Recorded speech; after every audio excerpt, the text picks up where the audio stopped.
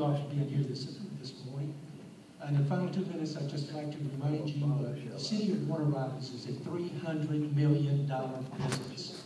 We have thirty-five square miles, and we have an operational budget of seventy million dollars a year. Now, that's a lot of money. It takes someone with business experience to manage an organization and a company of that size. In corporate America, if you don't properly manage, you get fired. You know, However, in our city charter, that's not necessarily the case. But we must have someone in the office of the mayor that's capable and has business experience to run the city as a business.